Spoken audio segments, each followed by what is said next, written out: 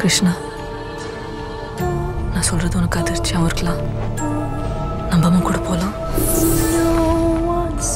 ஆனா நான் சொல்றது தான் உண்மை. யுஎஸ் தமிழ் நேயர்களுக்கு வணக்கம். நம்ம இப்போ தியா படத்தோட பப்ளிக் ரிவ்யூக்காக கமலா தேட்டர் வந்திருக்கிறோம். இந்த படம் எப்படி இருக்குன்னு மக்களை கேட்டு தெரிஞ்சுக்கலாம். வாங்க. Nice character not so horrible பரவாயில்ல பார்க்கலாம். குட்டி குழந்தைங்க பயப்படாமல் இருக்கலாம். சூப்பராக இருக்குது சாய் பல்லவி ஆக்டிங் தான். உண்மையாகவே பர்ஃபார்மருங்க அவங்க. சான்ஸே இல்லை.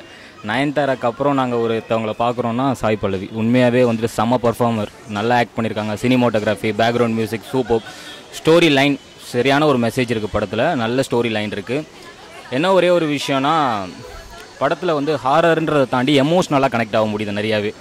ஸோ படம் ஓவராலாகவே சூப்பர் ஃபிலிம் கண்டிப்பாக பார்க்கலாம். ஒர்த்தபிள் ஃபிலிம் இந்த படம் பார்த்த மாதிரி தான் இருந்துச்சு தமிழ் இண்டஸ்ட்ரியில் எப்படி மாயா படத்தில் நயன்தார் ஆக்ட் பண்ணியிருந்தாங்களோ அதை விட கொஞ்சம் இவங்க பெட்டராக தான் பண்ணியிருந்தாங்க. எமோஷனல் செம்மையாக கன்வே பண்ணியிருக்காங்க. படத்தில் வந்து பேய் க- கத்துற மாதிரி இப்போ தமிழ் சினிமாவிலே லாரன்ஸ் வந்து அப்படி கத்துற மாதிரி தான் கட்டியிருப்பார். இதில் அதையும் தாண்டி எமோஷ்னலாக பேஸ் பண்ணி செம்மையாக இருந்தது. இல்லை நார்மலாக இருக்குது வேற ஒன்றும் இல்லை. நல்லா இருக்குது த்ரில்லிங்காக இருக்குது நல்லா இருந்தது ஆ. ரெண்டுமே. நல்லா இருந்துச்சு. நல்லா இருந்தது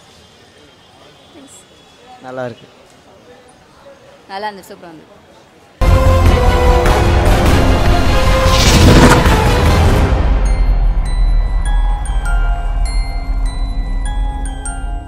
தியா படம் எப்படி இருக்குன்னு மக்களை கேட்டு தெரிஞ்சுக்கிட்டோம். இந்த படம் ஒரு சென்டிமெண்டல் ஹாரர் மூவின்னு மக்களே சொல்கிறாங்க நீங்களும் உங்கள் குடும்பத்தோட தவறாம இந்த படத்தை வந்து பார்த்து என்ஜாய் பண்ணுங்க. இதே மாதிரி நிறைய பப்ளிக் ரிவ்யூஸுக்கு யூஎஸ் தமிழ் ஹெச்டி சேனலை சப்ஸ்கிரைப் பண்ணுங்க. இந்த வீடியோ உங்களுக்கு பிடிச்சிருந்ததுன்னா லைக் பண்ணுங்க ஷேர் பண்ணுங்க. மறக்காமல் கீழே உள்ள கமெண்ட் பாக்ஸில் கமெண்ட் பண்ணுங்க.